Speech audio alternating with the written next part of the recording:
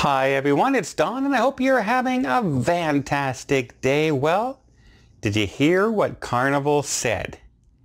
Did you hear? They said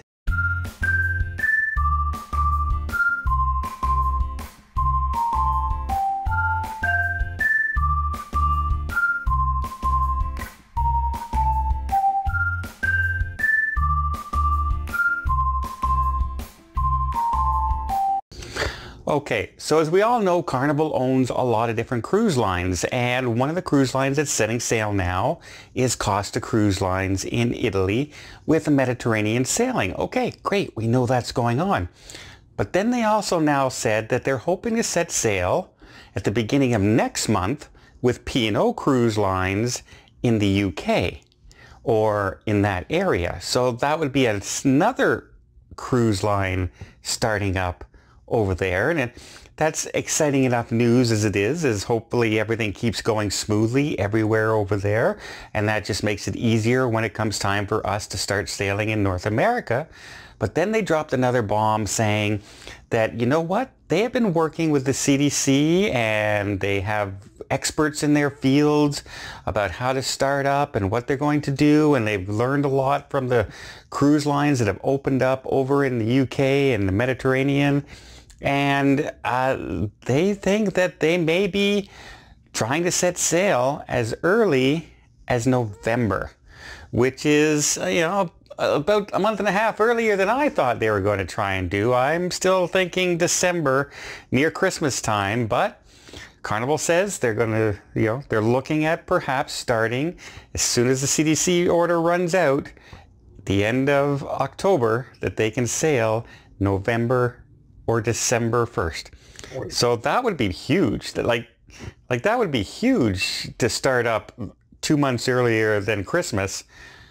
And that would be, you know, a much more easier progression into 2021 where they would find out, you know, this is what's happening. Is everything going good? Everything's going smoothly? Okay, great. Here we go.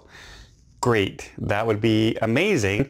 And that also follows on the heels of some news about a possible vaccine that one company is saying that they are going to be, you know, handing over their uh, all their documentation and their studies and all the uh, control effects from the placebo group and the group that took the vaccine, and they will be presenting it to the FDA for approval come mid-October.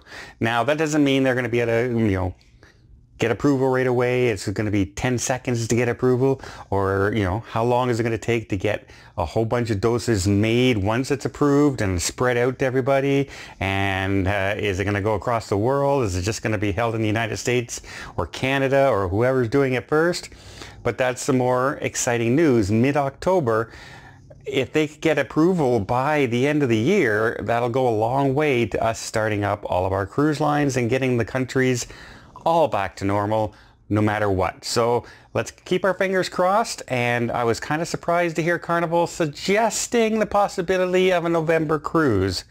And he actually said the CDC and themselves have been working slightly and they think they might come to an agreement. That would be huge. Well, let me know what you guys think. Do you think there's any possibility in November? Personally, I still don't think so because of the election going on in November. But in December, could be highly possible. Let me know what you guys think in the comments, and I hope you appreciate this video. If you did, please give it a thumbs up. You want to see more tips, more tricks, more travel vlogs from around the world? Hit that subscribe button. Until next time, have yourself a safe and a great vacation.